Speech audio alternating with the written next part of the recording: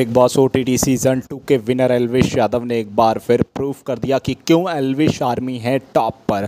एलविश यादव ने ट्वीट कर दिया, अपने हेटर्स को मुंहतोड़ जवाब, सारे फैंडम मिलकर भी नहीं पछाड़ पाए एलविश यादव के सिस्टम को। तो इस वीडियो को कीजिए मैक्सिमम लाइक और चैनल पे नए हो तो सब्सक्राइब कीजिए, देख तमाशा टीवी का। सोशल मीडिया पर एक नई लड़ाई शुरू हो गई है। प्ले सीज़न थ्री को एलविश यादव ने जीत लिया है और एक और ट्रॉफी एलविश आर्मी में आ चुकी है, जहाँ पर फुकरा इंसान ने फिनाले में ज्वाइन करने से ही मना कर दिया था, क्योंकि फुकरा इंसान कैरी मिनाटी, इनको ये बातें पता थी कि एलविश यादव एक तरफा शो को जीत रहे हैं। चिराग ने शो को जीत लिया है, जिसके बाद बहुत सारे लोग फुकरा इंसान को ट्रोल कर रहे हैं। इवन एलविश के फैंस कैरी मिनाटी को भी ट्रोल कर रहे हैं। हालाँकि एलविश यादव ने वर्क डन करके ट्विटर पर ट्वीट किया, जिसके बाद ये सारी बातें सामने आने लगी कि एलविश आर्मी कितनी स्ट्रांग है। एलविश आर्मी ने एक बार फिर वो कर दिखाया, जो सारे फैंडम मिलकर नहीं कर पाए। इट मीन्स कैरी मिनाटी फुकरा इंसान, या फिर एक्स वाई जेड जितने भी फैंडम थे, जो लोग एलविश को हराने में लगे थे एलविश यादव ने उन लोग को मुंहतोड़ जवाब दिया है।